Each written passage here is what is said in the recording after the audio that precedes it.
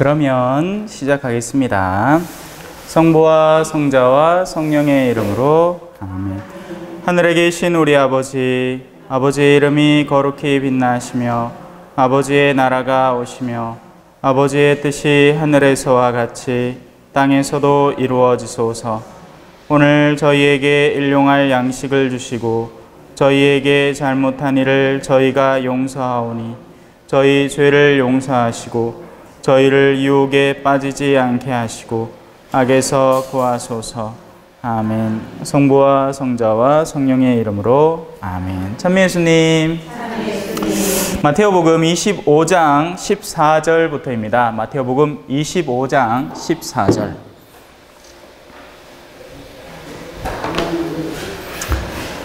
바로 들어가겠습니다. 탈렌트의 비유. 탈렌트는 돈을 재는 단위죠. 우리나라는 원, 일본은 엔, 중국은 위에, 위안, 유럽은 유로, 미국은 달러. 그것처럼 유대인들의 고대로 탈렌트라는 단위를 썼습니다. 무게 단위기도 하고 뭐 그렇겠죠. 뭐 비슷한 말로 데나리온이라는 것도 마찬가지로 단위였고, 어, 랩톤, 가난한 과부가 냈던 거, 랩톤. 뭐 우리로 치면 막 천 원짜리, 만 원짜리 이런 거고, 탈렌트는 데나리온은 어, 노동자의 하루 어, 임금 그러니까 한 10만 원좀 되는 돈이겠죠. 고맙습니다. 탈렌트는 훨씬 더 많은 돈입니다. 그러니 탈렌트의 비유라고 하면 어, 한국말로 치면 어, 예를 들어서 500만 원의 비유. 어? 그, 그렇다고 해서 이런 말들을 다 그때그때 시대에 맞춰서 바꿀 수는 없는 노릇이잖아요. 그죠? 예, 인플레이션도 있고. 그냥 대충 그냥 그렇게 감을 잡으라는 거죠. 자, 하늘나라는 어떤 사람이 여행을 떠나면서 종들을 불러 재산을 맡기는 것과 같다. 그는 각자의 능력에 따라 한 사람에게는 다섯 탈렌트. 자, 주인은 종마다의 능력을 잘 파악하고 있었습니다. 그래서 그에 합당한 배분을 합니다. 여러분들의 어, 살아오면서 여러분들이 겪게 되는 사건과 일들은 모두 여러분들에게 합당한 일들입니다. 그렇게 생각하시면 돼요. 근데 문제는 뭐냐? 우리가 우리에게 합당한 그것으로 만족을 하느냐? 아니라는 것이 문제죠. 그럼 어떻게 만족을 안 하느냐? 우리는 우리가 감당할 수 없는 사건, 사고들을 만들어냅니다. 자, 어떤 마, 그러니까 참한 처자가 있어요. 그러면 부모님의 말에 순종을 하고 자신의 삶을 잘 가꾸어 나가면 고만고만한 남성을 만나서 그 남성의 부덕함도 있을 수 있겠죠. 그런 정도를 잘 견디면서 살아갈 겁니다. 근데 문제는 뭐냐? 자기 자신에게 필요 이상의 능력이 있다고 과신하는 거예요. 그러니 자기가 신경 쓰지 않아도 될 일들까지도 마구 당겨서 신경을 쓰게 되는 거죠. 무슨 말이냐? 자신이 부모님에게 어느 정도 순종을 하고 했으면 됐을 것을 지가 벌써 능력이 있다고 막 나대는 거예요.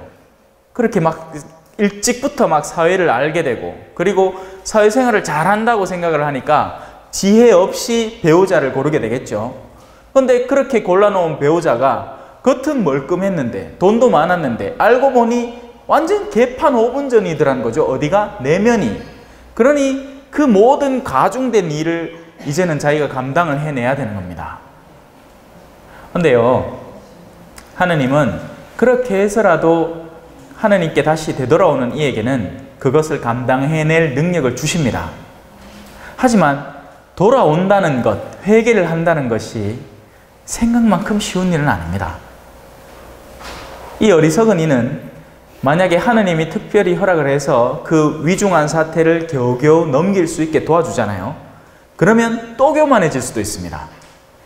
그래, 내가 이럴 줄 알았다네. 어? 역시 나는 이런 사람이야. 어? 하고 또 오류를 반복해서 저지를 수 있게 된다는 이야기예요. 자, 넘어갑시다. 각 사람의 능력에 따라서 한 사람에게는 다섯 탈렌트, 다른 사람에게는 두 탈렌트, 또 다른 한 사람에게는 한 탈렌트를 주고 여행을 떠났습니다. 다섯 탈렌트를 받은 이는 곧 가서 그 돈을 활용해서 다섯 탈렌트를 더 벌었습니다. 두 탈렌트를 받은 이도 그렇게 해서 두 탈렌트를 더 벌었죠. 그러나 한 탈렌트를 받은 이는 물러가서 땅을 파고 주인의 그 돈을 숨겨 놓았습니다. 여기에서 우리가 한번 고려해 보아야 할 것은 우리는 곧잘 이 돈이라는 수단, 탈렌트라는 얘기를 듣자마자 돈을 떠올리고 아, 돈 벌어야 되는구나. 능력 있게 살아야 되는구나. 세상 안에서 어떤 입지를 차지해야 되는구나 라는 걸 떠올리기 쉽습니다. 하지만 그건 주인에 따라서 달라지는 거예요. 주인이 어떤 것을 사랑하느냐에 따라서. 자, 단적인 예로 여러분들 앞에는 지금 본당 신부가 한 명 있죠. 그러면 제가 원하는 건 어떤 걸까요? 자, 문제를 한번 내볼게. 1번. 예비자 숫자 500명. 2번. 진실한 하느님을 사랑하는 사람 한 명, 아니면 두 명. 자, 둘 중에 저에게 뭐가 소중할까요? 어, 다 알지. 그런데도 불구하고 우리는 우리가 생각하는 주인의 관념을 만들어내는 겁니다. 아, 그래도 우리 신부님이에요. 보자, 내가 이런 거 막 잔뜩 해갖고, 어? 신부님이야, 벌써 하면 신부님 기분 좋아하겠지. 모를 일이죠. 그의 기분을 상하지 않게 하기 위해서, 아, 하고 친절하게, 온유하게 받아들이긴 하겠지만, 속으로는 어떨지 모를 일이죠. 자, 그러니 주인이 어떤 성향을 지니고 있느냐에 따라서 우리가 벌어야 할 실제적인 달란트가 달라지게 되는 겁니다. 근데 우리는 어떤 주인을 관념하고 있느냐? 우리는 1등 하는 걸 좋아하는 주인. 구질구질하게 살지 않고 다른 이들보다 화려하게 사는 걸 좋아하는 주인. 수적으로 모든 걸 판결하는 통계치를 통해서 얻을 수 있는 모든 것들을 좋아하는 주인을 하느님처럼 개념하고 있는 거예요. 그러니 길을 엇나가는 거죠. 신앙생활을 30년, 40년을 했음에도 열매가 없는 결과가 나타나게 되는 겁니다. 손이 텅텅 비어 있는 거예요. 주인의 뜻에 맞는 일을 하나도 안 한 거죠. 내가 만들어 놓은 하느님이라는 개념에 맞는 일만 해온 거지. 그러니 이 부분에 있어서 사람들이 오해를 하는 겁니다. 자, 다섯 탈란트를 받은 이가 다섯 탈란트를 더 벌었다라는 걸 두고 예를 들어서 세속적인 신앙관에 빠져 있는 사람은 봐라 내 하나님 축복 받아갖고 건물 안 샀나 이딴 식으로 이야기를 합니다.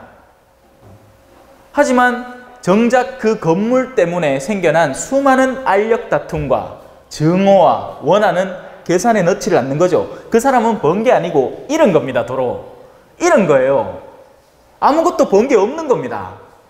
반대로 아이고 신부님 예, 내 하, 내가 진짜 열심히 하려고 했는데 별로 한 건 없고 그저 여 한 사람하고 내가 열심히 열심히 이렇게 신경 써주고 해갖고 인자 지와 성당 올락합니다. 얻은 겁니다. 얻은 거예요. 한 영혼이 하느님에게 관심을 갖도록 만들어준 거죠. 얻은 거예요. 엄청난 보물을 얻었을지도 몰라요. 왜? 이렇게 관심이 없던 누군가가 이제 하느님께로 돌아서서 정말 이 앞 사람보다 청출어람이라고 하죠. 더 앞서는 신앙으로 나아가면서 다른 이들을 끌어모으고 만약에 그게 젊은이라면 신학교에 설렁 들어가고 신부가 될 수도 있는 노릇 아닙니까? 하느님은요, 장기 프로젝트를 하지. 단기 프로젝트를 안 합니다. 하느님은 한 세대 안에 끝나는 프로젝트를 안 해요. 어떤 엄마가 남편한테 죽자고 얻어 터지면서도 끊임없이 신앙을 고수하다가 나중에는 얻어맞아 죽어버렸어. 남편한테. 그러면 그 생은 완전히 파탄난 생처럼 보이죠? 아니에요. 바로 그 어머니의 희생을 지켜봐온 아들들. 아, 우리 아빠가 이렇게 지독한 사람이었는데 내가 이 나이가 될 때까지 아버지의 그런 만행과 악행에 대해서 전혀 모를 수 있었던 이유는 뭘까? 어머니가 나를 철저하게 그 앞을 가로막고 아버지의 모든 악을 흡수하고 있었구나. 그 힘은, 그 원동력은 어디지? 아, 어머니에게는 신앙이 있었구나. 그렇게 했을 때 그 후 세대에서 드러나게 되는 열매는 어마어마할지도 모릅니다. 그리고 그 세대를 몇 세대 더 거듭하면 나중에는 그 안에서 사제가 나올 수도 있죠. 주교가 나올 수도 있죠. 그런 일이 적혀 있는 것이 바로 족보 아닙니까? 족보. 아, 누구지? 여러분, 롯. 성경에 롯기 있죠? 룻기. 룻기인가? 롯기인가? 룻기가 롯이가. 룻. 어? 룻이 있잖아요. 룻은 이방 여인이었습니다. 그리고 노엠이라는 그 시어머니 밑에 들어와서, 그죠? 그렇게 살다가 다른 시, 며느리가 있었는데, 아들, 그러니까 남편 죽고 아들 둘이 있는 것 주고 보고 해갖고 이 두 아들의 며느리들이 야, 아들아, 너가 너 고향 가라. 나는 내 고향 가고 뭐라도 빌어먹고 살게 했는데 롯이 아니요. 저는 어머니 따라갈랍니다. 한 번 어머니의 딸이 되기로 결심을 했으니 이걸 놓칠 수 없습니다. 자, 롯은 이방 여인이었지만 그 내면의 신실함으로 신앙의 족보 안에 들어오게 됩니다. 그리고 여러분은 마르코 복음이가 마테오 마테오 복음 시작에 롯의 이름을 발견할 수 있게 돼요. 그 롯에게서 오벳인가? 아니다. 하여튼 그 족보가 있는데 다윗 왕의 할아버지가 나오게 되는 거예요. 이스라엘 민족을 가장 자랑스럽게 한 왕. 물론 그 왕 자체에도 죄가 있습니다. 하지만 그 다윗 왕족의 뿌리에서 유다 그러니까 유다 가문에서 예수 그리스도가 나오잖아요. 대충 감 잡으셨죠? 탈렌트가 무엇이며 주인이 진짜 원하는 탈렌트는 어떤 것인지에 대한 감을 잡아야 한 탈렌트를 벌더라도 제대로 벌 수 있습니다. 그게 아니면 우린 신앙생활을 정말 열심히 한다고 하는데 기쁨 없는 소출 없는 오히려 반대로 그 신앙 때문에 갖다 싸우고 있는 신앙생활을 하게 되는 거예요. 신앙이 증오를 불러오는 거죠. 그러니까 그건 신앙이 아니지. 왜냐하면 저는 진실한 신앙만 신앙이라는 이름을 붙여주고 싶으니까요. 그 사람은 그냥 외적으로 잘 드러나는 종교 활동을 해온 것 뿐입니다. 오랜 뒤에 종들의 주인이 와서 그들과 셈을 하게 되었다. 다섯 탈렌트를 받으니까 나가서 다섯 탈렌트를 더 바치며 주인님 저에게 다섯 탈렌트를 맡기셨는데 이제 보십시오. 다섯 탈렌트를 더 벌었습니다. 하고 말하였다. 그러자 주인이 그에게 일렀다. 잘하였다. 착하고 성실한 종아. 내가 작은 일에 성실하였으니. 자, 지상에서 탈렌트라는 값의 크기를 제가 알려드렸죠. 적지 않은 돈입니다. 그럼에도 불구하고 주인의 입장으로서는 작은 일에 충실한 거예요. 우리는 우리 일생, 태어남에서 죽기까지 70년, 80년의 생이 어마어마하게 길어 보입니다. 맞죠? 하지만 영원에 비유한다면 이건 아무것도 아닙니다, 여러분. 영원에 비유하면 우리의 길디, 길디 긴 그 생은 아무것도 아닌 게 되는 거예요. 그러니 투자할 만한 가치가 있죠. 물론 영원히 자신 안에 올바로 자리 잡혀 있을 때입니다. 그 관념이 사로잡혀 있지 않은 사람은 지상의 삶의 계산 여부밖에 안 따집니다. 내가 지금 일을 투자하면 일만큼 얻어낼 것인가를 고민하는 거죠. 그러니 영원을 바탕으로 한 투자에는 관심이 없게 됩니다. 그걸 받을지 안 받을지 왜 누굴 믿고 그걸 내가 하노? 이렇게 되는 거죠. 저는 하나님을 믿고 그 짓, 그, 그 짓이라 하면 거예요. 그 일을 기꺼이 수행합니다. 하나님을 믿습니다. 그분만큼 진실한 분이 없고 세상 안에 아무리 자식이 스스로를 진실하다고 내세우는 사람이라도 오류가 있기 때문이죠. 자, 그런데 자, 두 탈란트를 맡은 사람도 똑같은 말을 듣습니다. 그런데 한 탈란트를 받은 이는 나아가서 이렇게 말했다. 주인님, 저는 주님께서 주인님께서 모진 분이시어서 자, 주인님 모진 분 맞습니까? 앞서 말한 다섯 탈란트를 벌었다고 다섯 탈란트를 잠깐만 어 작은 일에 성실해 내게 많은 일을 맡긴 그러니까 뭐 다른 성결 구절에는 고를 준다고도 표현을 합니다. 내가 뭐 예를 들어서 50고를 했으니 150 50고를 주마. 뭐 10, 10개를 돌려줘서 너에게 10고를 주마. 이런 이런 개념이죠. 어마어마한 선물을 주시는 분이에요. 그가 벌어들인 다섯 탈렌트에 상응하는 뭔가를 되돌려 준 게 아니에요. 그가 노력했기 때문에 그의 상은 어마어마한 걸 다시 되돌려 줄 분이에요. 그러면 착한 사람입니까? 나쁜 사람입니까? 착한 사람이죠. 모진 사람입니까? 인자로운 사람입니까? 인자로운 분입니다. 자, 이 한 탈란트를 가졌던 이 관념 안에는 하나님은 복수하는 하나님, 심판하는 하나님, 두려운 하나님이라는 관념이 꽉꽉 사로잡혀 있었던 겁니다. 그러니 기껏 지가 해온 거는 나중에 하나님 앞에 드러낸 게 뭐냐? 하나님, 내 목숨 나 죄 안 짓고 이거 살았지. 얼마나 힘들은지 몰라. 어, 내 페임에서 꼬박꼬박 나오고 기도도 열심히 하고 어? 막 이런 신신단체에서 요구하는 거 그대로 다 하고 그렇게 그렇게 내 지내왔어요 라고 하고 싶은 거예요. 적지 않은 가톨릭 신자들의 오류가 될 겁니다. 그냥 지 하나 보존하고 왔다는 거예요. 하나님이 주신 한 탤런트로 그냥 한 탤런트를 벌어 왔다는 거지. 벌어 온 것도 아니지. 그냥 그 한 탤런트를 돌려드리는 거야.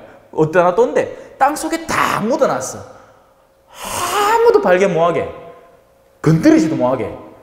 그걸 다시 파내갖고 다시 꺼내왔어. 그럼 주인님이 기뻐할 줄 알았지. 뭔지? 주인님은 투자자거든. 주인님은 주신 탤런트만큼의 탤런트를 벌어오기를 원하는 겁니다. 자 이쯤에서 다시 한번 주인님의 의중을 파악해 봅시다. 주인님 누구죠 우리 주인님? 하느님이죠 하느님은 세상을 사랑하시는 분이십니다. 그 사랑으로 세상을 만드시고 인간이 자신을 내치는 것을 경험하셨어요. 그래서 그것이 안타까운 나머지 예수 그리스도라는 분을 당신 제자로, 그러니까 당신의 외아들로 보내셨습니다. 그리고 그분을 따르는 이들, 예수님의 근본 목적은 뭐죠? 구, 구조 작업입니다. 구조 작업. 옛날에 뭐 SOS 해상 구조대 하면서 막 텔레비전에 막 요래 뛰댕기는 수영복 입은 어? 반주 입은 어? 그런 아들 있죠. 가들이 하는 일 뭡니까? 바다에 빠진 사람을 구하는 게 그들 목적이에요. 뻔히 놀고 있는 뭐 모래사장에서 놀고 있는 사람들하고 막 장난치고 막 어? 어? 뭐, 튀, 뭐 공놀이하고 그러라고 해상구조대가 아니라 해상구조대는 긴급한 상황에서 바다에 빠진 이들의 목숨을 구해내야 되는 이들이 해상구조대입니다. 교회는 구조 작업을 하는 곳이에요. 우리끼리 잘 먹고 잘 지내고 행사 치레하라고 있는 곳이 아니라 우리는 구조 작업을 하라고 존재하는 단체입니다. 사람들에게 우리의 신앙의 기쁨을 알리고 아직 하느님을 모르는 이들에게 하느님에 대해서 소개하고 그리고 아파서 성당에 오는 이들을 치유해서 보내게 하는 것이 목적인 거죠.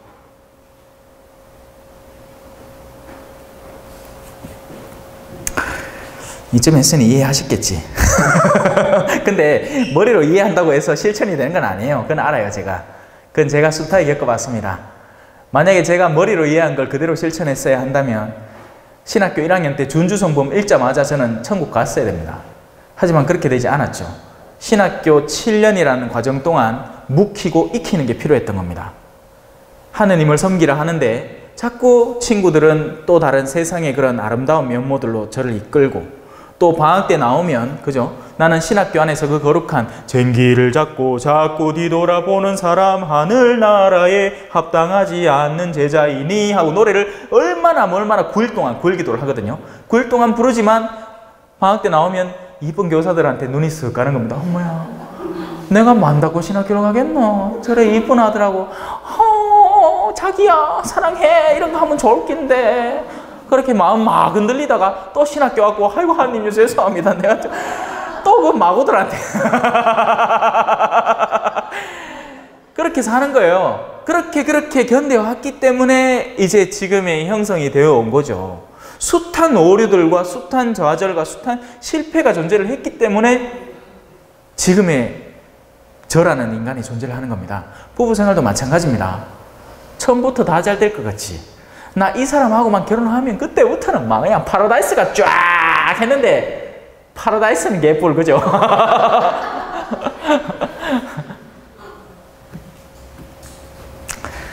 그러니 그죠? 우리는 탤런트를 버는 훈련을 해야 되는 겁니다. 그러기 위해서 존재하는 것이 교회입니다. 교회라는 것이 다 성공한 이들의 모임, 이라고 착각하는 이들이 너무나 많습니다. 그래서 그에 대한 반발로 성당 오면 다 착할 줄 알았디. 못된 사람 많네. 나 이제 성당 안 나온다. 라고 하는 엉뚱한 사람이 생기는 겁니다. 교회에 대해서 잘못 이해하신 분이에요. 교회는 죄인들이 모이는 곳입니다. 그런 죄인들의 모임 안에서 우리가 서로 서로를 배워 알아가면서 둥그러지는 과정 중에 있는 연마기와 같은 곳이에요. 그런 가운데 다른 이들에게도 복음을 전하는 곳이죠.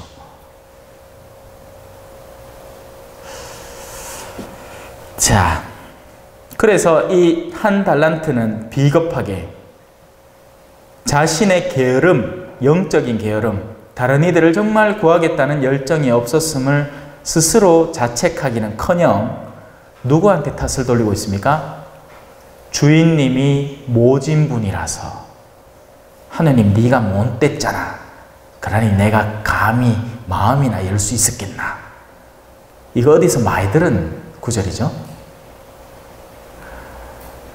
아담아, 너 왜 그랬느냐? 아, 요 옆에 내가요. 아, 땀에 진짜 먹기 싫었거든요. 아이, 그 탐스러운 과일을 갖다가 내 앞에 딱 안 돼요. 냄새 맡아보라 하면서. 그래, 내 한 입 비물었지. 하느님, 죄송합니다. 제가 그만 유혹에 빠져버리고 당신을 모른다고 하는 죄를 저질렀습니다. 용서해 주십시오. 라고 했더라면 용서를 받았을 수도 있습니다.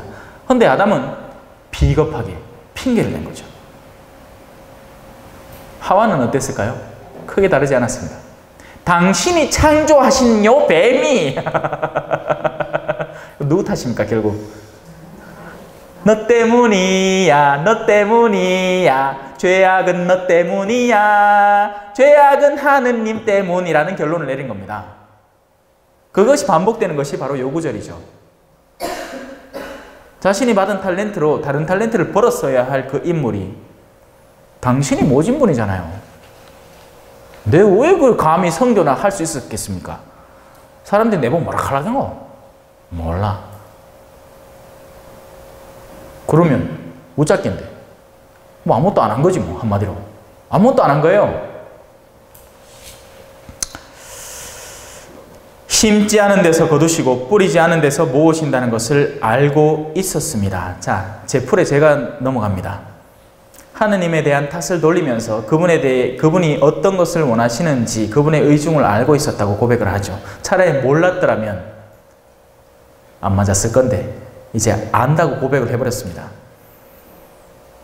그래서 두려운 나머지 물러가서 주인님의 탤런트를 땅에 숨겨두었습니다. 보십시오. 주님, 주인님의 것을 도로 받으십시오. 그러자 주인이 그에게 대답하였다. 이 악하고 게으른 종아. 자, 여기에서 게으름에 대한 실제적인 감각이 나옵니다. 게으름이라는 것이 여러분들이 잠시 낮에 짬을 내서 잔다고, 그죠? 그날 하루 딱히 다른 큰 일이 없어서 하루 그냥 커피 한 잔 하고, 어, 그 참에 나 좀 먹자.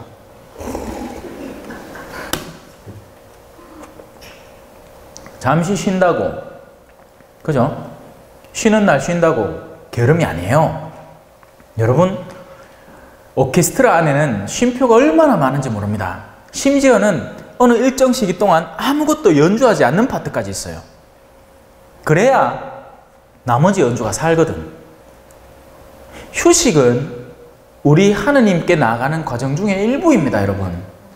그건 나태함이 아니에요. 우리는 뭐든 안 하고 있으면 불안해. 엄마 전화 왔다. 여보세요? 아, 예, 안녕하세요. 네.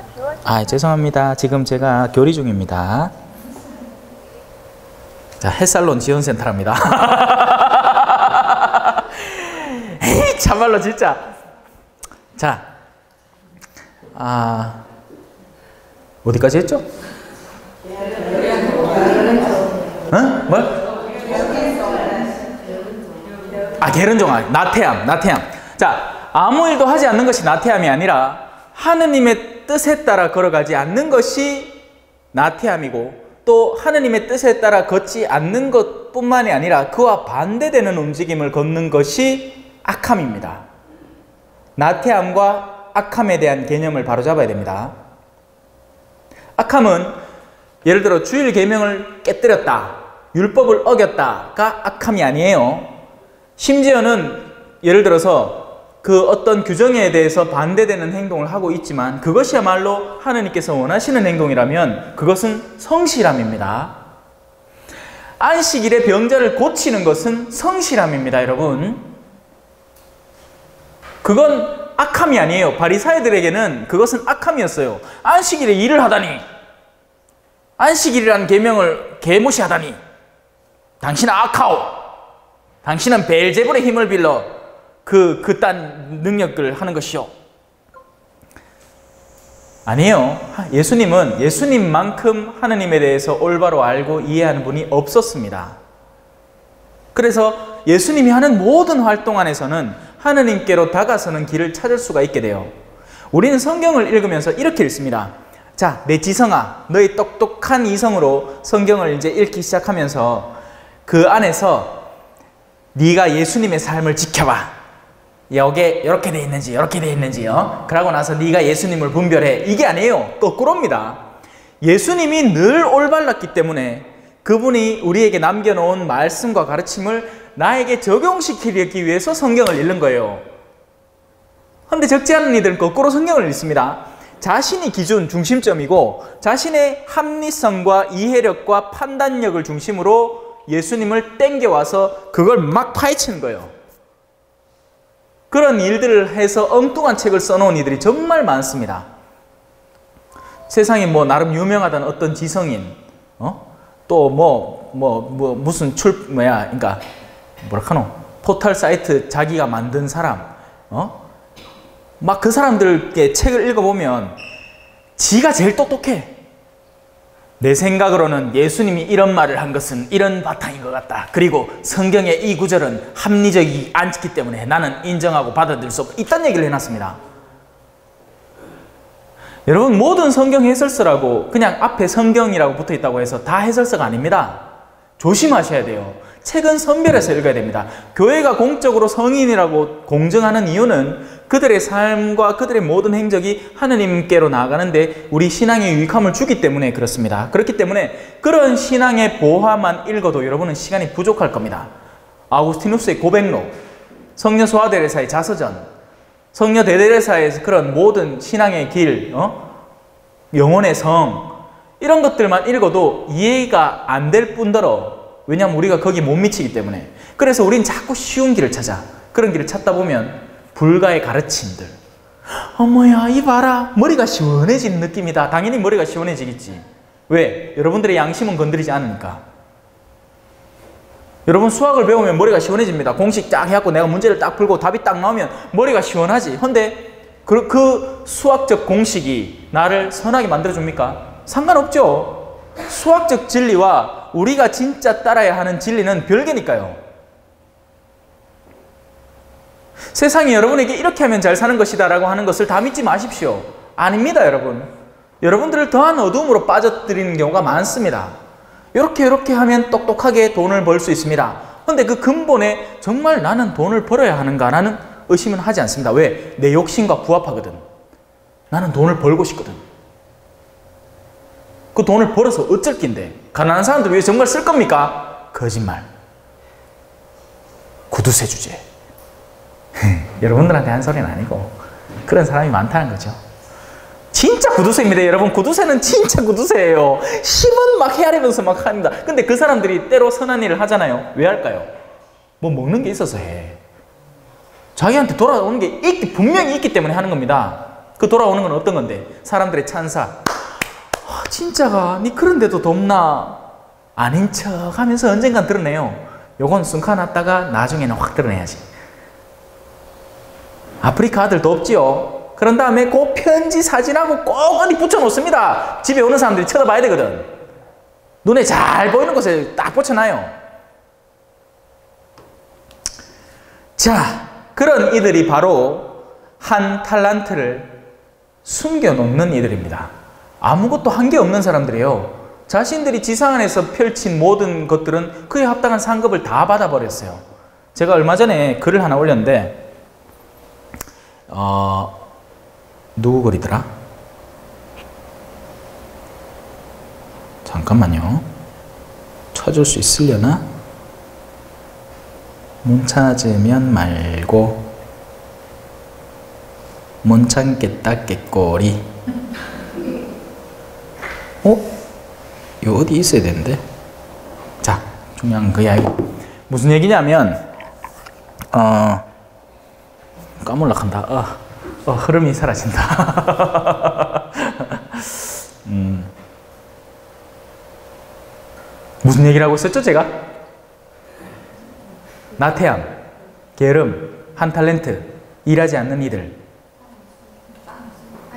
땅에 숨겨놓은, 아, 그런 거 아닌데. 하여튼 자, 또 생각나면 할게요. 자, 그래서 우리 주인님은 심지, 게으른, 악하고 게으른 종, 아무것도 하지 않고 도리어 하느님의 뜻에서 멀어져 나간 이들에 대해서, 어, 이렇게 얘기합니다. 내가 심지 않은 데에서 거두고 뿌리지 않은 데에서 모으는 줄로 알고 있었다는 말이냐? 그렇다면 내 돈을 대금업자들에게 맡겼어야지. 자, 우리의 삶을 대금업자들에게 맡긴다는 것은 어떤 의미일까요? 순명한다는 것입니다. 내가 내 의지를 이용해서 다른 것들을 벌어들일 수 없으면 순명하기라도 해야 됩니다. 바로 우리가 부딪히는 두 번째 파트죠. 우린 순명하기를 지독히 싫어합니다. 그게 우리 가정 안의 남편이건, 우리 집안의 아버지건, 우리 교회의 주임 신부건, 아니면 내가 속한 어떤 공동체의 장이건, 순명이라는 것은 참 쉽지 않은 겁니다. 그래서 우리는 순명에 반대되는 수많은 이야기들을 주변에서 어렵지 않게 들을 수 있습니다. 주교님에 대한 비판, 주임 신부에 대한 비판, 자기 아버지에 대한 원한과 내가 친구들에게 투덜대는 아버지에 대한 비판, 남편 욕. 여러분, 저는 굉장히 보수적입니다. 어떻게 보면. 저는 아내는 남편에게 순명해야 한다고 생각합니다. 죄와 관련되지 않는 이상은. 그러니까 남편이 대놓고, 야, 네 나하고 저가 거짓말해 이런 거 아닌 다음에는 남편이 집안에서 어떤 일을 처리하기 위해서 이렇게 하자 했을 때 아내는 남편 뜻을 따라야 된다고 생각을 해요. 안 그러고 아이고 여보 당신이 뭐라노? 어? 하나도 모르면서 요 따구로 얘기하는 집안 치고 콩가루 집안 아닌 집안이 없습니다 여러분. 왜냐하면 대가리가 두 개잖아. 뱀이 대가리가 두 개인데 어디로 가야 됩니까? 맨날 싸우는 거지. 그럼 몸은 어야 되는데 몸은 막 찢어지는 겁니다, 막. 그럼 몸은 누군데? 자녀들. 그 가정에 소속된 구성원들입니다. 머리가 두 개니 맨날 찢어지는 거예요, 몸은. 몸은 한 뼘도 앞으로 못 갑니다. 머리 둘이가 싸운다고. 그러니 머리는 하나여야 돼요. 나머지 하나의 머리는 심장이 있는 대로 들어가야 됩니다. 그래서 열심히 열심히 피를 보내줘야 돼요. 어떻게 이 머리가 올바른 분별을 하도록 피를 보내줘야 됩니다. 무슨 피? 사랑의 피. 아내는 남편을 사랑하도록 만들어져 있습니다. 여러분들의 섬세함과 부드러움과 온유함과 아름다움으로 남편을 응원하고 사랑하고 힘을 실어주고 남편이 존경심을 잃지 않도록 특히나 누구에게서 자녀들에 대해서 마찬가지 역할이 교회 안에도 이루어집니다. 저는 머리의 역할을 맡고 있어요. 피치 못하게 그러고 싶어서 그런 건 아닙니다. 그래 하락하이 그러는 거지. 뭐 여러분이 저를 뽑았습니까? 아니죠. 주교님이 팅팅 갔잖아. 야, 네 사수동 가 해갖고 바둑갈매기로 평 왔는 거 아닙니까? 그러면 여기도 같은 일이 벌어집니다. 아내의 역할을 담당하는 이들이 존재를 하죠. 교회 봉사자들입니다. 같은 뜻으로 같이 일을 해야죠. 안 그러고 자기들이 더 똑똑하다고 나서기 시작하면 이제 갈라지는 겁니다. 그러면 자녀들, 그냥 주일 미사나 이렇게 나오는 자녀들이 보고는 모리본나 와이카노 이렇게 되는 거죠. 왜?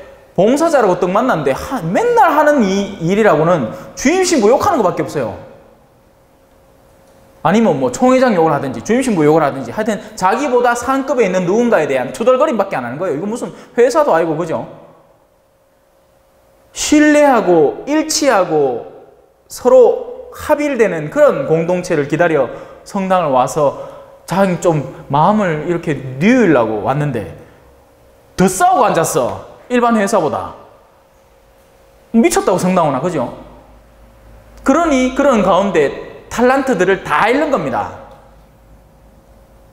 알 필요가 없는 일에 대해서 알게 되고 교회 속속들이 쓰잘데기 없는 온갖 어두움들에 대해서 다 파악하게 되면서 그 사람들 성당 안 오겠대. 그딴 성당이라면. 근데 우리는 어쩝니까? 우린 또 그런 거 재밌다고 캐내갖고 야야야 너가 아나? 요번에 인사이동에 신부님이 열어놨는데 그거 왜 난지 아나? 내가 들었는데 아니나 그게 진짜인지 아닌지 모르겠는데 네 들으면 재밌겠다 하고 막 알려주는 거예요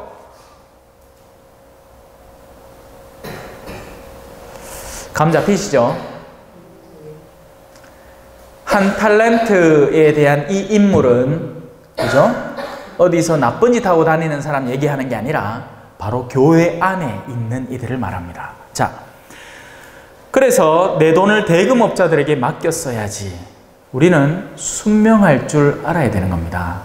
왜냐하면 그 대금업자가 계획을 잘 짜서 일을 하게끔 도와줘야 되는 거죠. 그러면 이자라도 받을 거 아닙니까? 이자라도. 하다못해 뭐라도 벌까 아이가. 그리하였으면 내가 돌아왔을 때 내 돈에 이자를 붙여 돌려받았을 것이다. 저자에게서 그 한 탈렌트를 빼앗아 열 탈렌트를 가진 이에게 주어라. 자, 이 말을 들으면 이 늘 돈으로 생각하는 세상 사람들이 화를 냅니다. 이것이 교회도 비닉빈 부익부네. 아니죠. 전혀 다른 차원의 이야기를 하는 겁니다. 가진 이들의 행복감은 더 가중됩니다. 그리고 하느님의 뜻에 따라 살지 않는 이들은 자신이 지니고 있다고 생각하는 것마저 빼앗기게 되는 거죠. 참 이건 이건 설명을 더 상세하게 해드릴 수도 있는데 해봤자 큰 소용이 없을 겁니다. 왜? 우리의 정신이 깨어나지 않으면, 우리의 정신이 지상에 묶인 것에서 우리를 해방시키지 않으면, 우리의 정신이 돈을 계속 계산하는 데서 해방되지 않으면 이걸 이해할 이유가 없습니다. 맨날 탤런트 하면 무조건 돈 생각만 하고 본전 생각 본전치기 생각하고 그가 있긴 해. 그죠? 자, 마지막 이야기를 잘 들읍시다. 그리고 저 쓸모없는 종은 바깥 어둠 속으로 내던져 버려라. 거기에서 그는 울며 이를 갈 것이다. 예수님의 말씀은 늘 양자에 대한 언급입니다. 한 측은 일 잘하는 이에 대한 두둔과 칭찬과 응원의 말씀입니다. 다섯 탈렌트를 지닌 이들이 이 현세 안에서 어떻게 보일까요? 막 다섯 탈렌트를 지냈으니까 막 돈도 많고 막 성당에서 위신도 받고 그만큼 선한 일도 하고 아니요. 다섯 탈렌트를 지닌 사람의 모습은 의외로 굉장히 가난하고 그럼에도 믿음이 있는 모습으로 드러납니다.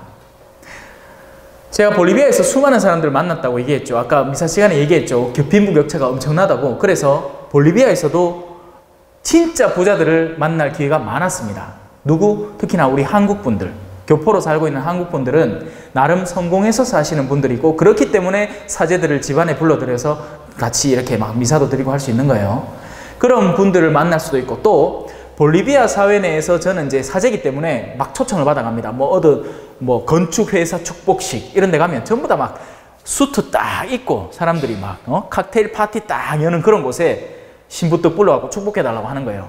그런 모습도 볼 수 있었고 진짜 진짜 꾸지리하고 가난한 동네도 가서 그 가난한 어르신들과 같이 기쁨을 나눌 수도 있었습니다.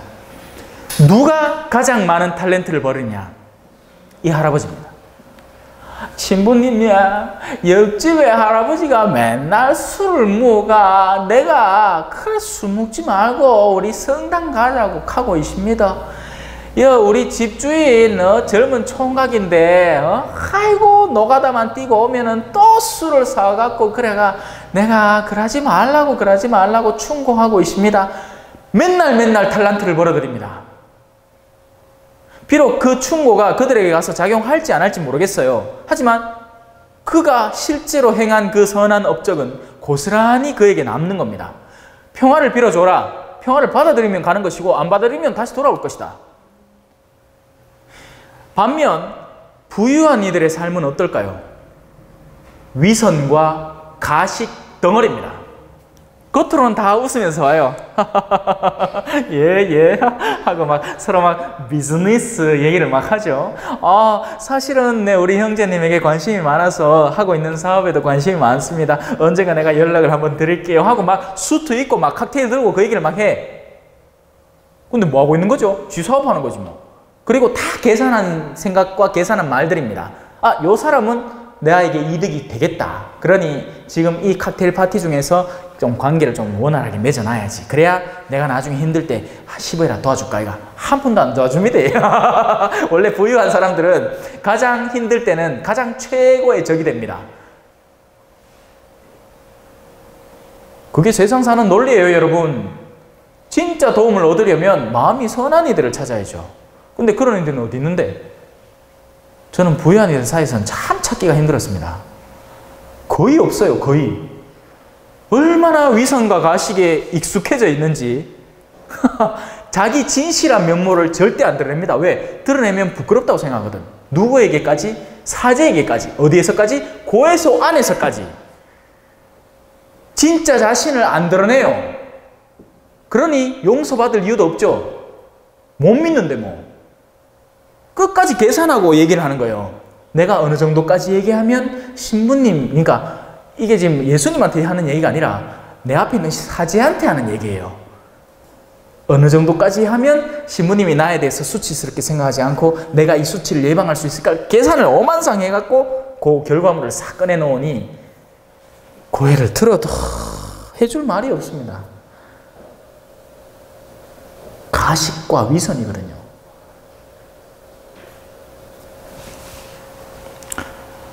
진짜 고해를 잘하는 사람은 정말 솔직하게 고해하고 나서도 모고해했다고 괴로워하는 한편 이 사람들은 진짜 모고해를 하고 있으면서도 자신의 고해가 아, 그래 요 정도 했으니 됐다 하고 자기 스스로 위안하고 있습니다. 그건 당해보지 않으면 모를 거예요. 예, 자. 그래서 그 쓸모없는 종은 바깥 어둠 속 그 반대 곳은 어떤 곳이죠? 안 빛이 가득한 곳이 되는 겁니다. 하느님의 빛은 곧 사랑이고 우리 내면을 밝혀주는 빛입니다. 하느님의 빛을 올바로 받을 때 우리는 가장 사랑하는 이에게 사랑받는 느낌을 받게 됩니다. 벌써 다 까먹죠 그런 느낌. 왕년에 연애할 때 떠올려 보십시오. 에? 그냥 옆에 가고 냄새만 맡아도 어머야 그 사람 맞는갑다. 누구게 하면 몰라 이럴 때 있잖아. 에이 내 다 아는데 와카노.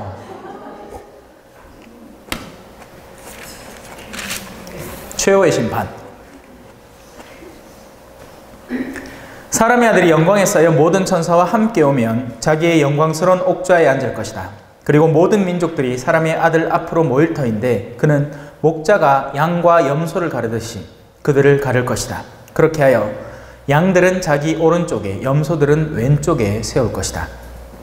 그때 임금이 자기 오른쪽에 있는 이들에게 이렇게 말할 것이다. 내 아버지께 복을 받은 이들아 와서 세상 창조 때부터 너희를 위하여 준비된 나라를 차지하여라. 너희는 내가 굶주렸을 때 먹을 것을 주었고 내가 목말랐을 때 마실 것을 주었으며 내가 나그네였을 때 따뜻이 맞아들였다. 또 내가 헐벗었을 때 입을 것을 주었고 내가 병들었을 때 돌보아 주었으며 내가 감옥에 있을 때 찾아주었다. 그러면 그 의인들이 이렇게 말할 것이다. 주님, 저희가 언제 주님께서 굶주린 것을 보고 먹을 것을 드렸고 목마르신 것을 보고 마실 것을 드렸습니까? 언제 주님께서 나그네 되신 것을 보고 따뜻이 맞아 드렸고 헐벗으신 것을 보고 입을 것을 드렸습니까? 언제 주님께서 병드시거나 감옥에 계신 것을 보고 찾아가 뵈었습니까? 그러면 임금이 대답할 것이다. 내가 진실로 너희에게 말한다. 너희가 내 형제들인 이 가장 작은 이들 가운데 한 사람에게 해준 것이 바로 나에게 해준 것이다. 너무나도 명료하고 뚜렷이 드러나는 우리의 실천 과제입니다. 뭐 하라고요? 헐벗은 이들에게 입을 것, 배고픈 이들에게 먹을 것, 괴로워하는 이들에게 위로를 주면 됩니다. 그게 누군데? 첫째, 나 자신. 닥달하지 마십시오, 여러분. 여러분 그렇게 안 이뻐져도 되고요. 여러분 그렇게 부자 안 돼도 됩니다. 왜 그렇게 여러분 자신을 닥달을 해요? 위로는 못할 망정. 괜찮다 해줘야죠. 아니야. 진우야, 요셉아, 요셉 신부야 괜찮아. 니좀 못생겨도 돼. 그 덕분에 네가 보호를 받잖아. 네가 좀 잘났으면 얼마나 꼬신바리가 들어오겠노. 괜찮다. 진호야, 뭐니 좀 가난하게 살지 뭐 없잖아. 뭐 근데 니한테 부족한 게 뭐 있노? 니 필요한 거 다 쓰잖아. 어, 그 배고플 때 먹고 싶은 거 다 먹고. 그럼 니는 됐지. 뭐 니가 그래 돈을 뭐 어? 몇천만 원 축적해갖고 왜할 낀데? 어? 그러니 조금이라도 생길 때마다 나눠줘. 어, 좋아. 잘하는 거야. 괜찮아. 미래는 두려워하지 마. 뭐 어쩌라고? 음, 그 앞만 싸우고 뭐 싸워갖고 김정일이 요 스위치 띵 눌러보면 끝나보는 긴데요.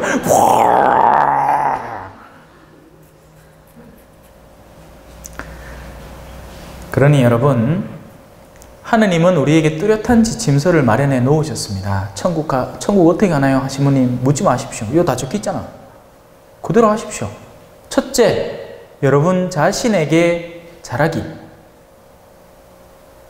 근데 여러분 자신에게 잘한다는 것이 저마다 기준이 다 달라서 큰일이라. 우리가 살아온 경험을 바탕으로 나는 나에게 잘하기가 결정되어 있기 때문이죠. 입을 것과 먹을 것이 있으면 만족하십시오. 라는 것이 사도의 이야기입니다. 자, 이제 그 왼쪽에 있는 사람들에게는 자, 일단 심판에 대한 내용을 한번 들어봅시다. 저주받은 자들아, 나에게서 떠나 악마와 그 부하들을 위하여 준비된 영원한 불 속으로 들어가라. 자, 여기에서 가장 두려운 단어는 어떤 것일까요? 악마? 그 부하들? 영원입니다. 영원. 여러분, 영원이에요. 이게 일시적인 게 아니고 영원입니다. 여러분, 어떤 고통이든지 지상에서의 고통은 끝이 있어요. 내 육체가 아무리 괴롭다 하더라도 내가 정말 위중한 중병에 걸려서 내가 막 꼴딱꼴딱 숨이 넘어가, 넘어가 봤습니다, 저는. 그런데도 희망이 있어. 그래, 이 카다가 이제 눈 감고 끝나겠지. 눈 떠도 그냥 계속 아파. 그래서 이제 사람이 지치긴 하는데 또 어르신들 그렇잖아요. 이 노화가 계속되면 허리가 아프고 막 아침에 막 일어나는 것도 괴롭고 이거 언제 끝나나 언제 끝나나 하는데 언젠가는 끝날 거예요. 그런데 이 영원한 불이라는 것은요. 안에서부터 타오르는 것이고 이미 지금부터 타오르는 것입니다, 여러분. 여러분이 하느님에게 부합하지 않는 생활을 시작한 그 순간부터 불이 시작됩니다, 안에서. 그 불은 나를 불안케 만들어요.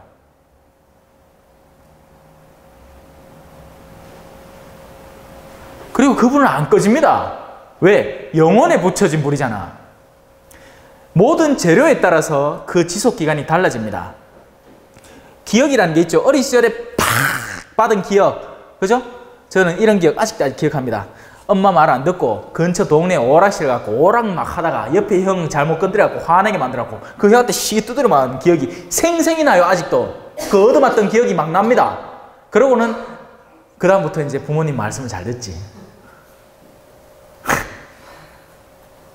그런 내면에 새겨진 기억들은 한동안 갑니다.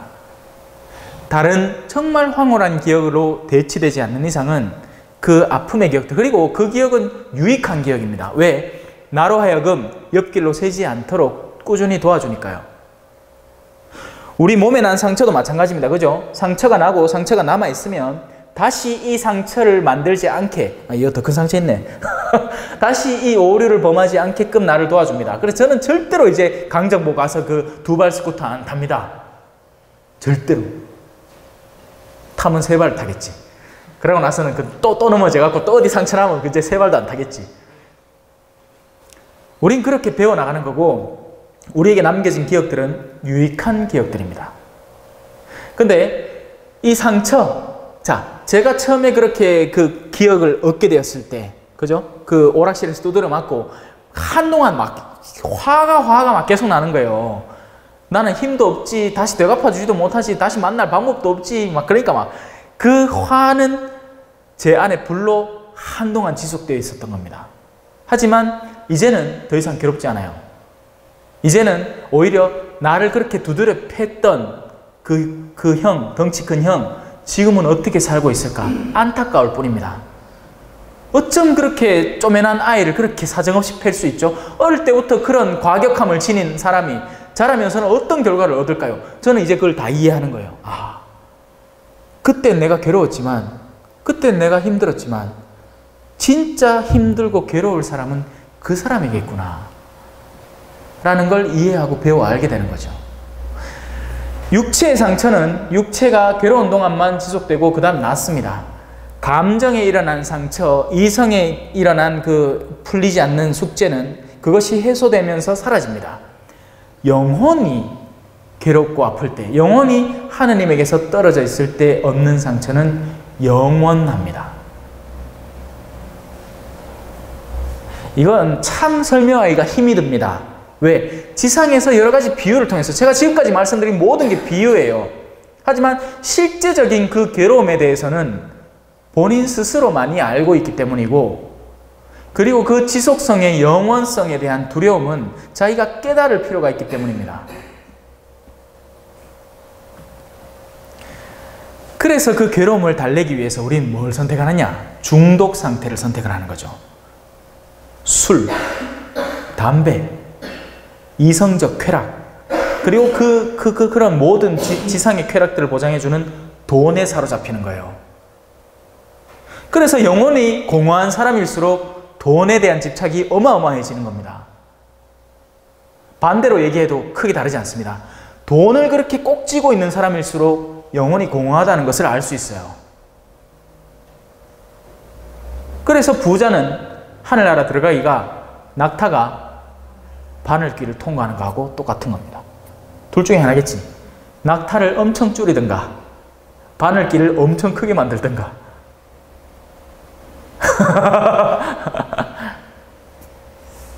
하느님에게는 불가능이 없으니까요. 하지만 바늘기가 커지려고는 상상하지 마십시오. 여러분이 줄어들어야 됩니다. 그리고 하느님은 그 일을 하실 겁니다. 근데 하느님이 그 일을 하신다는 게 기쁨이 아니고 두려움으로 다가오는 사람이 있을 거예요. 제가 지금 수수께끼 말들 같은 말들을 계속 하죠. 그걸 알아들으면 따라올 것이고 못 알아들으면 그냥 수수께끼로 남을 겁니다. 자, 넘어갑시다. 그래서 그 왼편에 있는 자들에게는 영원한 불이 준비됩니다. 그들이 한, 하지 않은 일들은 그 앞선 일들에 반대되는 일들입니다. 굶주린 이에게 주지 않았고 배고픈 이에게 주지 않았고 목마른 이에게 주지 않았기 때문입니다. 근데 누가 굶주리고 배고프고 목말란대요? 너의 형제들 가운데 가장 보잘것없는 이 하나 네 남편 너그 아버지 너그 시어머니 네가 진짜 싫어하는 네 친구 중에 한 명. 우리는 투덜댈 줄만 알고 비판할 줄만 알았지 뭔가를 먹을 걸 주려고 시도해 본 적은 거의 없는 겁니다. 사랑하려고 애써 본 적은 별로 없는 거죠. 이렇게 하여 그들은 영원한 벌을 받는 곳으로 가고 의인들은 영원한 생명을 누리는 곳으로 갈 것이다. 제일 무서운 단어 그리고 제일 기쁨의 단어는 영원입니다. 영원. 영원이라는 똑같은 동일한 단어지만 다른 측마다 다른 결과를 낳게 되죠. 영원한 생명과 영원한 벌. 예수님을 죽이는 물을 꿉니다. 예수님께서 이 말씀들을 모두 마치시고 제자들에게 이르셨다. 너희도 알다시피 이틀이 지나면 파스카인데 그러면 사람의 아들은 사람들에게 넘겨져 십자가에 못 박힐 것이다. 이제 최종 단계죠. 그때 수석 사제들과 백성의 원로들이 가야파라는 대사제의 저택에 모여 속임수를 써서 예수님을 붙잡아 죽이려고 공모하였다. 그러면서도 백성 가운데서 소동이 일어날지 모르니 축제 기간에는 안 된다 하고 말하였다. 이들이 두려워하는 것은 뭐? 하느님 아닌 백성? 백성입니다. 이들이 두려워하는 건 백성이에요. 하느님이 없는 사람의 마음에는 사람들의 시선이 가득 차 있습니다. 그렇기 때문에 사람들이 나를 어떻게 생각할까가 주된 분별의 단계가 됩니다. 하지만 하느님을 사랑하는 이는 하느님께서 나를 어떻게 보실까가 주된 분별의 단계가 됩니다. 26장입니다. 예수님께서 이 말씀들을 모두 마치시고 제자들의 어, 잠깐만 아 26장 벌써 넘어갔네. 어떤 여자가 예수님의 머리에 향유를 붓다. 예수님께서 베타니아에 있는 나병 환자 시몬의 집에 계실 때의 일이다. 어떤 여자가 매우 값진 향유가 든 옥합을 가지고 다가와 식탁에 앉아 계시는 그분 머리에 향유를 부었다. 제자들이 그것을 보고 불쾌해하며 말하였다. 왜 저렇게 허투루 쓰는가? 저것을 비싸게 팔아 가난한 이들에게 나누어 줄 수도 있을 터인데 예수님께서 그것을 아시고 그들에게 이르셨다. 왜 이 여자를 괴롭히느냐? 이 여자는 나에게 좋은 일을 하였다. 사실 가난한 이들은 늘 너희 곁에 있지만 나는 늘 너희 곁에 있지는 않을 것이다. 이 여자가 내 몸에 이 향유를 부은 것은 내 장례를 준비하려고 한 것이다. 내가 진실로 너희에게 말한다. 온 세상 어디든지 이 복음이 선포되는 곳마다 이 여자가 한 일도 전해져서 이 여자를 기억하게 될 것이다. 세상적인 시선의 판단으로 교회는 무턱대고 가난해야 됩니다. 하지만 하느님의 뜻을 아는 이들의 시선으로 교회는 때로는 그 기물아의 금도금이 될 수도 있고 교회 안의 성물들이 거룩하고 합당한 것으로 바쳐질 수도 있습니다. 그건 아름다운 일이에요. 그걸 비판하는 사람들의 내면이 뒤틀려져 있는 겁니다. 무턱대고 그냥 다 비판하는 사람이 있습니다. 다. 근데 그 생각의 핵심에는 내가 제일 똑똑하다라는 생각이 숨어 있습니다. 그러니 유다가 그랬죠. 그 향유를 팔지. 근데 유다야말로 가장 탐욕스러웠던 사람인 겁니다. 네. 자, 그 뒤에 바로 또 유다가 나오네요. 그때 열두 제자 가운데 하나, 하나로 유다 이스카리옷이라는 자가 수석 사제들에게 가서 내가 그분을 여러분에게 넘겨주면 나에게 무엇을 주실 작정입니까? 하고 물었다. 그들은 은돈 서른 잎을 내주었다. 그때부터 유다는 예수님을 넘길 적당한 기회를 노렸다. 예수님 바로 곁에서 정말 오랜 시간 예수님과 함께 그분의 가르침을 얻고 했지만 그것이 그를 바꾸지 못했습니다. 우리도 마찬가지예요. 지금 여러분들이 여기서 성경 강좌를 듣는다고 해서 제가 가르치는 모든 강좌가 여러분 안에 스며드는 것은 아닙니다. 여러분이 선택하고 결심하고 그걸 실천하려고 마음 먹을 때 이루어지는 것이죠. 그냥 듣는다고 해서 바뀌는 건 아무것도 없어요. 들으면 두 가지입니다. 들었기 때문에 나아질 기회. 들었는데도 불구하고 더 추악한 삶. 무교절 첫날에 제자들이 예수님께 다가와 스승님께서 잡수실 파스카 음식을 어디에 차리면 좋겠습니까? 그러자 예수님께서 이르셨다. 도성 안으로 아무개를 찾아가 선생님께서 나의 때가 가까웠으니 내가 너희 집에서 제자들과 함께 파스카 축제를 지내겠다 하십니다 하여라. 제자들은 예수님께서 분부하신 대로 파스카 음식을 차렸다. 제자들의 이 순명을 보십시오. 사실 예수님은 말도 안 되는 얘기를 했는 겁니다. 예수님은 그 도성에 그러니까 아는 사람이 있는지 없는지 제자들 모르고 야 그거 가면 있을 낀게 가. 해. 했는데 제자들이 그냥 순명해버린 거죠. 실제로 그런 사람이 있을지 없을지 만약에 우리라으면 막 따지고 들었을 겁니다.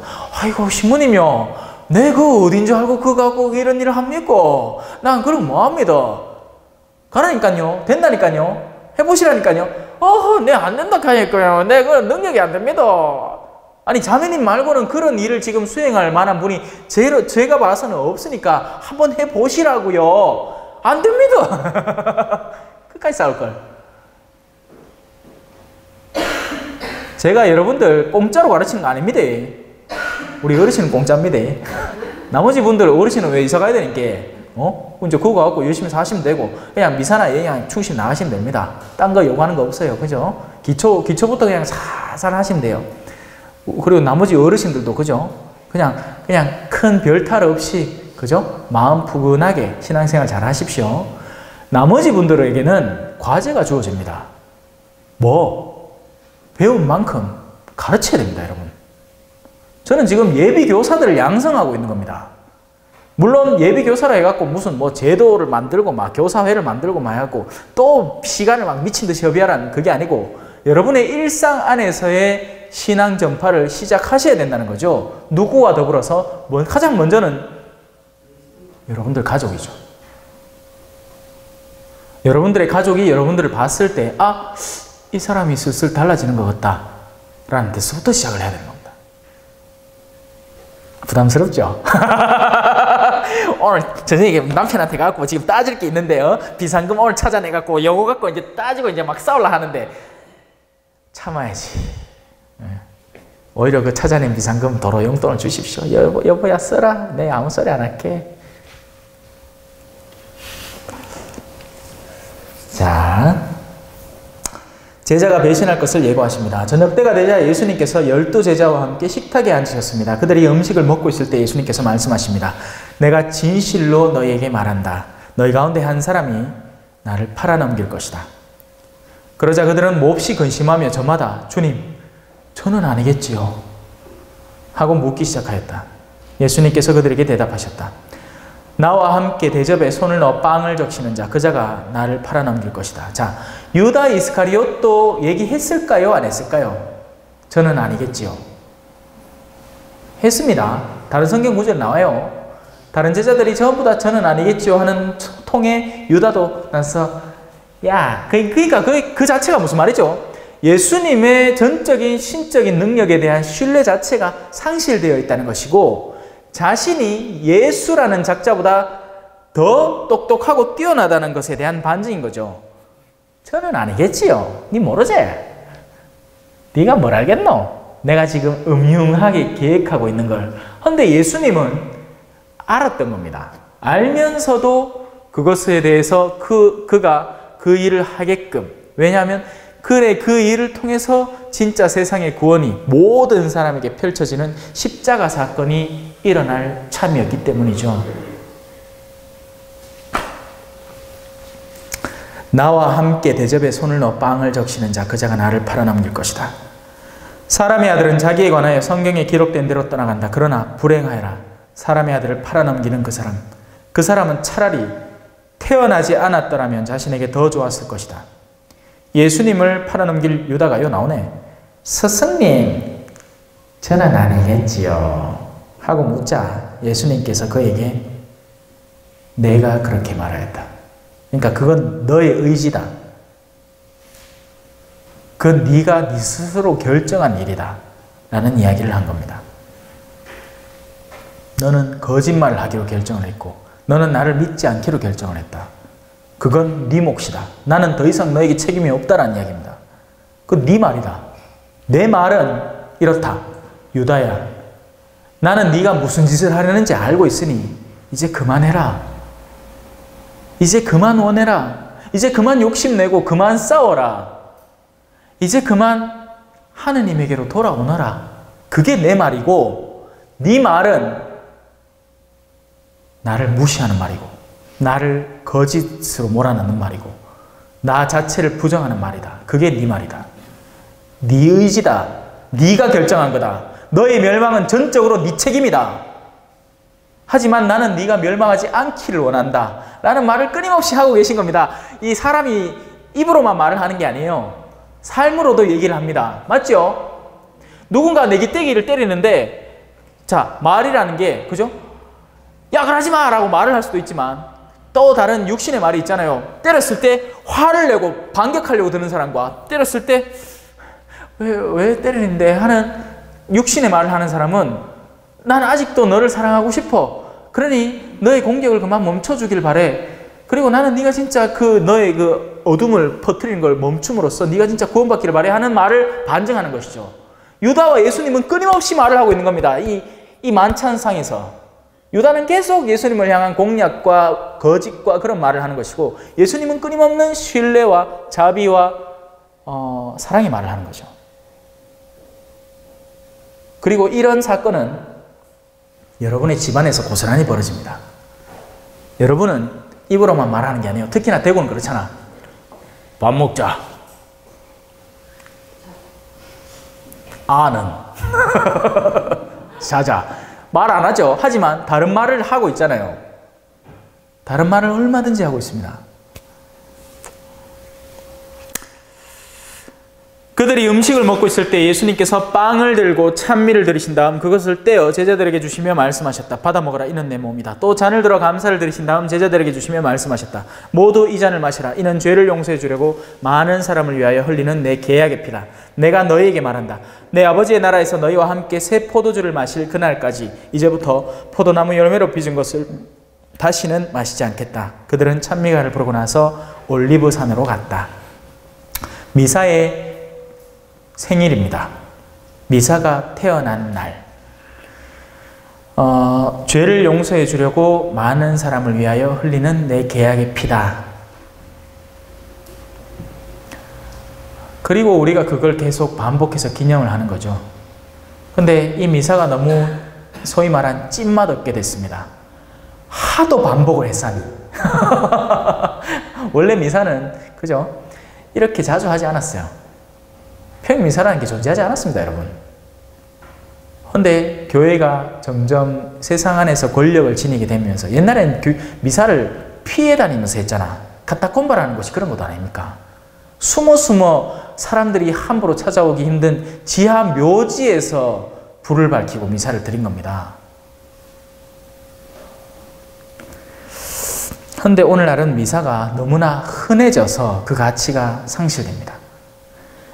아직 볼리비아에는 한 달에 한 번 미사하는 공동체가 있고 1년에 한 번 하는 공동체도 있습니다. 그들이 사제의 질을 따지지 않습니다. 와 주기만 해도 고맙습니다. 그런데 우리는 강론이 싫고 모양새가 싫고 사는 꼬라지가 싫다고 하면서 뭘 내버리느냐? 미사를 내버립니다. 아니 사제가 싫으면 사제를 멀리하면 되지. 근데 미사는 뭔 죄고? 그게 우리 문제인 거죠.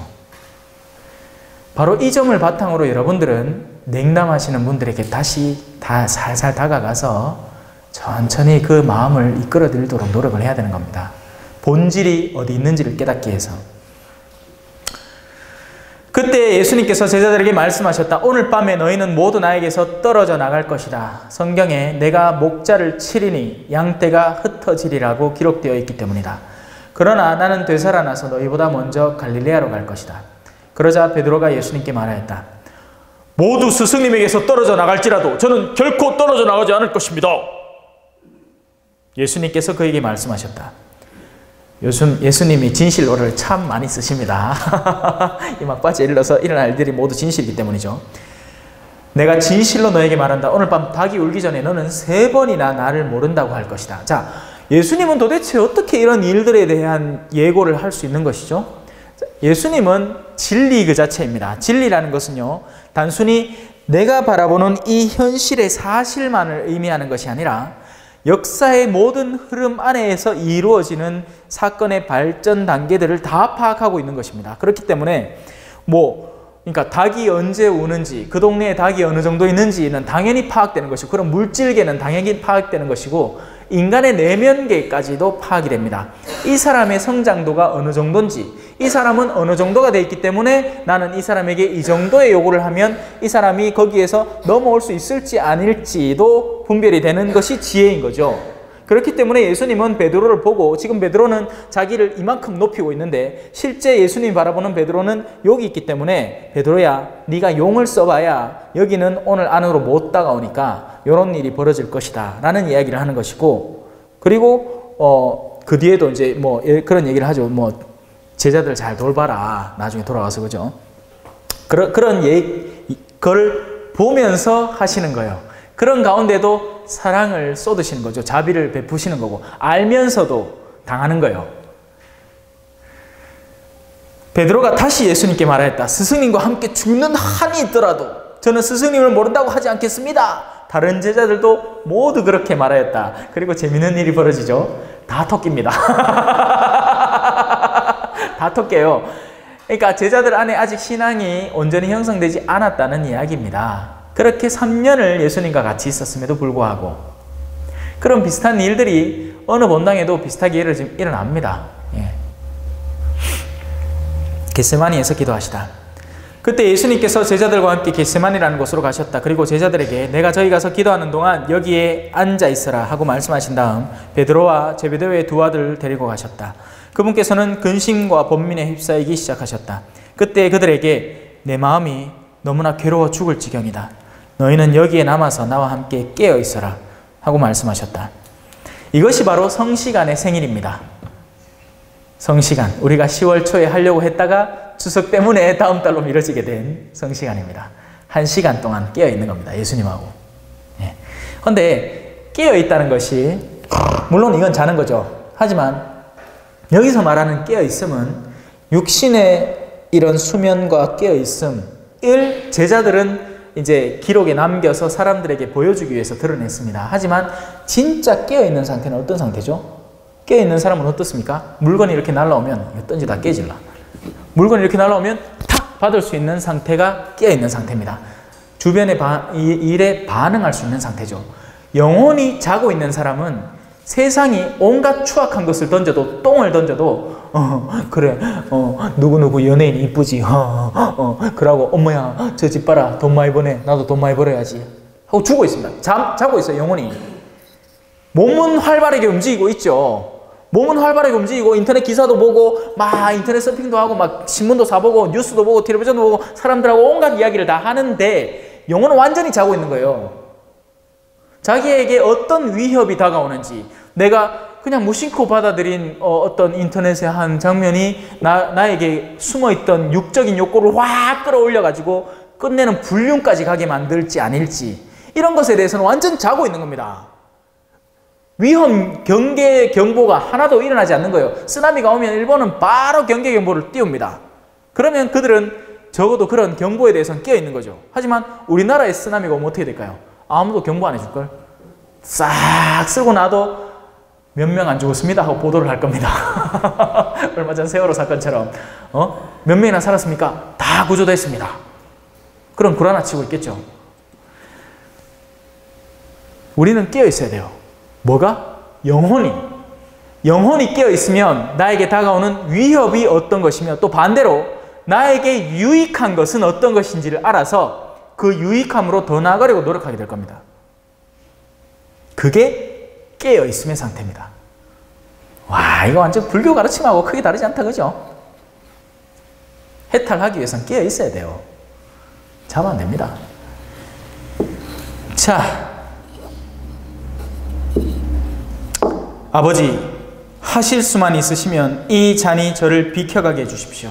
예수님의 인성이 바치는 기도입니다. 예수님의 인간성은 다가올 위험, 십자가의 죽음의 처참함, 그 괴로움과 고통, 또 나아가서 감성적인 괴로움, 사람들의 증오, 온갖 수치, 모욕, 모멸감, 억울함, 이런 것들을 다 알고 있었습니다. 그래서 될 수 있으면 피해가게. 이 화가 미치지 않게 해달라고 기도합니다. 하지만 그 영혼, 신성, 거룩한 영, 성령을 받은 영혼은 아버지, 제가 원하는 대로 하지 마시고 당신 원하는 대로 하십시오. 라고 기도를 하죠. 그러고 나서 제자들에게 돌아와 보니 푹 쉬고 있습니다. 제자들은 자고 있거든요. 제자들은 자신들에게 어떤 위협이 다가오는지, 스승에게 어떤 위험이 다가오고 있는지 모르고 있는 겁니다. 그래서 베드로에게 이렇게 너희는 나와 함께 한 시간도 깨어 있을 수 없더란 말이냐. 예수님의 안타까움이 느껴지셔야 됩니다. 예수님은 지금 온 인류를 걸고 자신을 내어 바칠 준비를 갖추고 계시는데 그 수제자라는 다른 열두 제자 중에서도 세 명 뽑혀온 그 인간들이 자고 있으니 너희는 나와 함께 한 시간도 깨어 있을 수 없더란 말이냐. 자, 왜 깨어 있어야 하느냐? 유혹에 빠지지 않도록 깨어 기도하여라. 돈벌이의 유혹, 명예심의 유혹, 권력, 지배하려는 유혹, 인물, 아름다움, 미모에 대한 유혹, 온갖 유혹들이 우리를 따라옵니다. 우리 어르신들에게는 건강이란 형태로 드러나죠. 건강도 적당히 챙겨야지 집착하기 시작하면 나중에 무슨 주스 하나 떡 받아들고 아들내미야 내 어디 오늘 모임 가갖고 그냥 뭐 적어달라 해 적어주고 와갖고 이거 선물 받았다 했는데 나중에 청구서가 20만 원 떡. 한 20만 원 싸다 100만 원 더.